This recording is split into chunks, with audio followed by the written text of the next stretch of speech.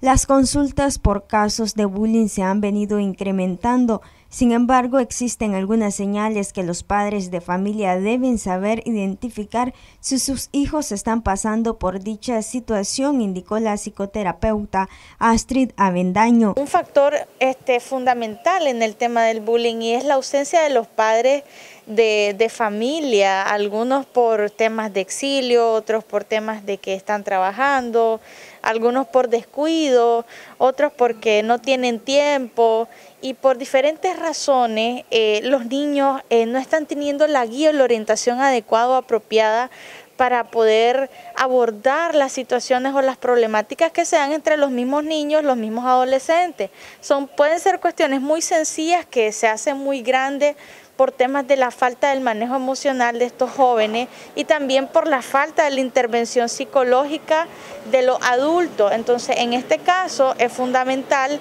tanto los adultos en la escuela, que son los profesores, como los padres de familia para poder intervenir de manera apropiada y orientar a los niños a hacer las cosas bien. En las víctimas nosotros podemos observar cierta sintomatología, ¿verdad? Como estados de aislamiento, cambios de humor, este, los niños comienzan a tener un cambio en su personalidad. Si antes era muy alegre, se hace muy triste, muy apagado.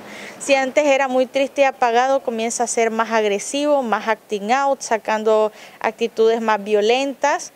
Eh, o sea, hay variaciones en lo que es el estado del humor. Si el niño está, por ejemplo, anda muy irritable o anda muy triste, muy llorón, anda, anda llorando por algunos lados o llora por todo, también son señales que les pueden indicar que está pasando algo en el colegio. Y si, por ejemplo, una señal muy importante, el niño no quiere seguir yendo al colegio, le dice a la mamá, que, por ejemplo, ya no quiere ir a ese colegio, que lo cambien, que entonces comienza a tener actitudes de rechazo. Avendaño manifestó que si estos casos no son tratados a tiempo, en su etapa de adulto genera algunas afectaciones en su comportamiento. A largo plazo lo que logramos notar es una deficiencia en el estado adulto, ¿verdad? Cuando ya los niños son adultos y, se les cuesta, porque les cuesta expresar sus emociones y comienzan a presentar diferentes tipos de trastornos ansiosos, depresivos, este, trastornos de personalidad también, trastornos psiquiátricos y, eh, en altos niveles también ideación suicida. Noticias 12, Darlene Telles.